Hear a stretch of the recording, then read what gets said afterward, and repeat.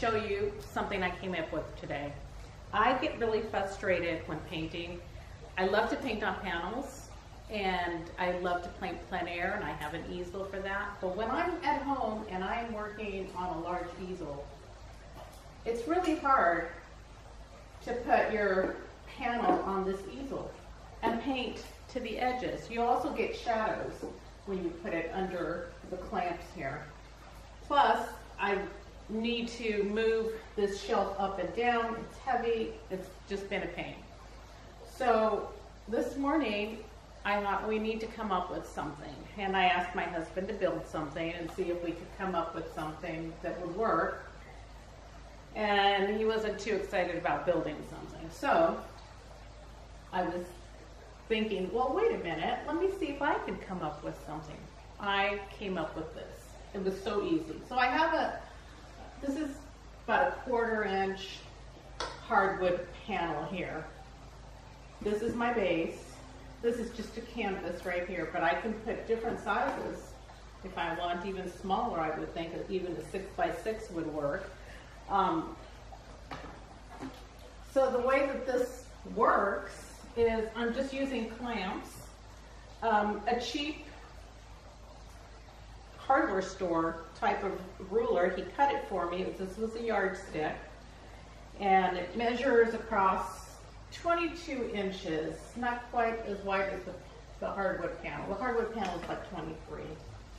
Um, but it's thin enough, so it doesn't cast a shadow on my panel for the bottom here, this is a paint stick. This is just one of those paint stirrers you get at the hardware store also.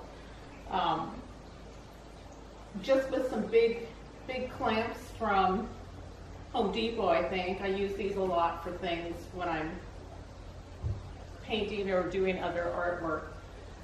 And it's narrow too. Not as narrow as this small yardstick here, but um, still good enough to put on the bottom. I guess if I had another one of these, I maybe would use it on the bottom, but this seems a little sturdier for the panel. Um, this is an 11 by 14, but I could easily do an 8 by 10. And if I need, I like to paint, I was taught to paint that when you, your, your canvas should be straight in front of you, in front of your hand. So this would be a little too low for me. I would want it probably just up here a little bit. But anyway, it rests on there. Stick this yardstick up here.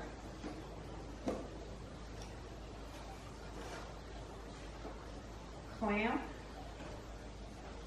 And I probably could use these big clamps too, but they're harder for me to open and close. They're hard on my wrist. So here we go.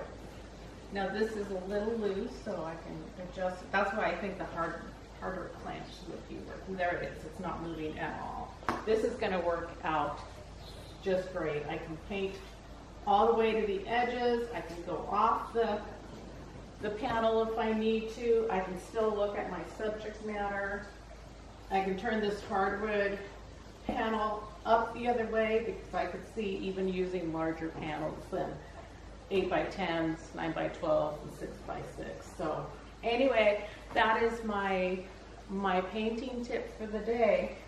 Um, I hope you enjoyed it, and this was like the easiest fix, and it didn't cost us a penny. We just went to the garage and grabbed a few things we found, and I think it's gonna work out perfect. Anyway, have a good day. Go paint.